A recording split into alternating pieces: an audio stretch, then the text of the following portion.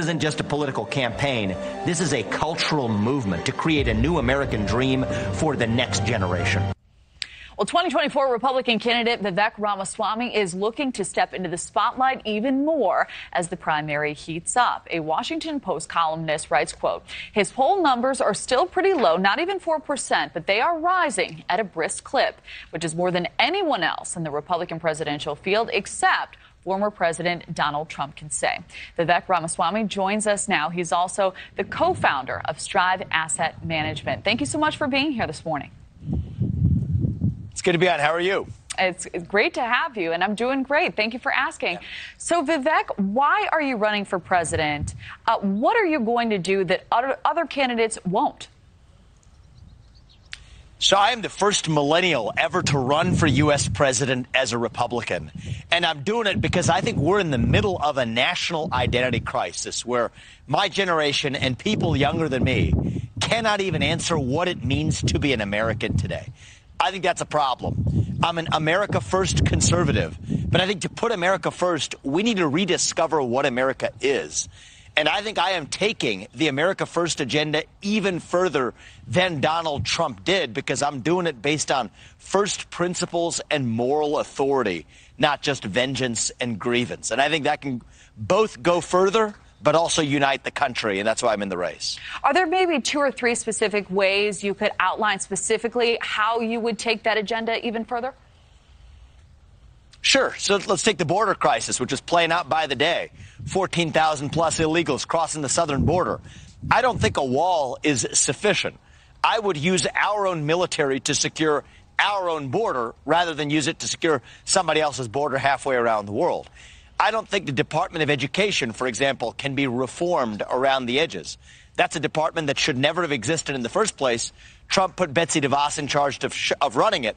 I will shut it down. I'm talking about taking on issues that Trump refused to touch, from affirmative action, which the president can end by executive order, since it started by executive order, to abandoning the climate agenda that shackles the United States economy. This is going further than Trump did. But I think that we can unite the country if we're grounded in first principles, and that's the way I'm approaching the campaign.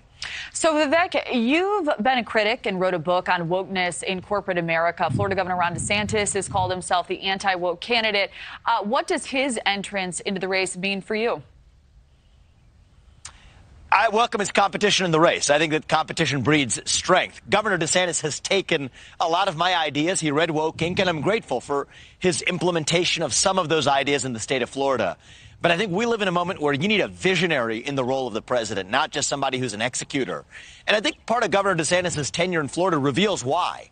He was the actual governor who signed into law some of the very crony capitalist privileges that Disney enjoys that he later railed against and canceled.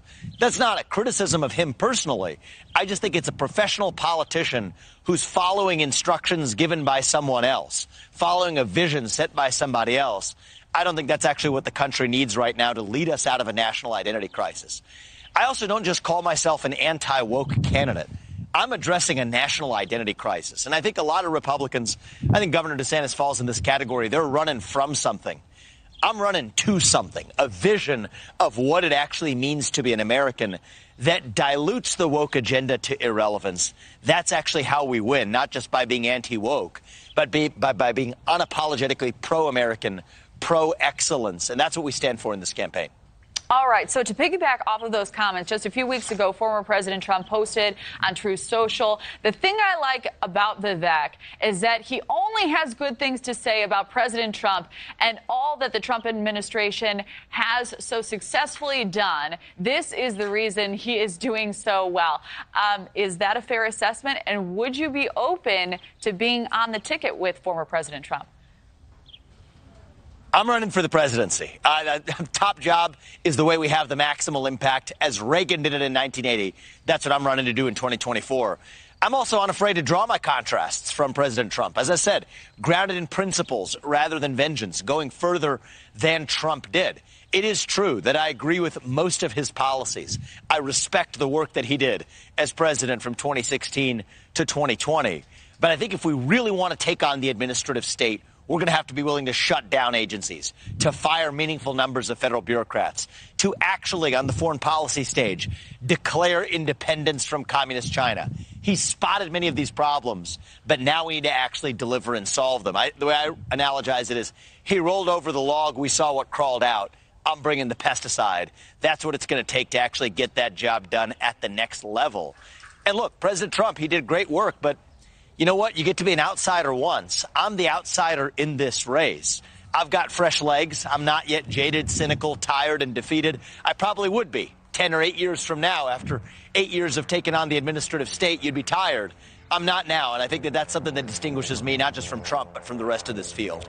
All right, so the latest RCP polling average shows you at just under 3%, right behind Nikki Haley. How do you plan to break out from the pack now?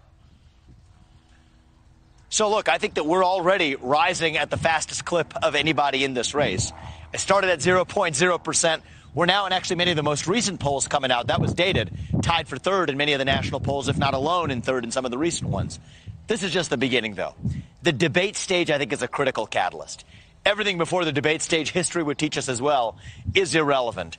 I think the debates that start in August, September, October, that's going to be critical for actually defining what do we stand for, why do we stand for it? And who's leading the way in defining the agenda? I think we already are. That's going to be evident on the debate stage. Then I think we put up a respectable top three finish in Iowa, finish in the top two, if not win New Hampshire. That turns this race upside down. That's how we win.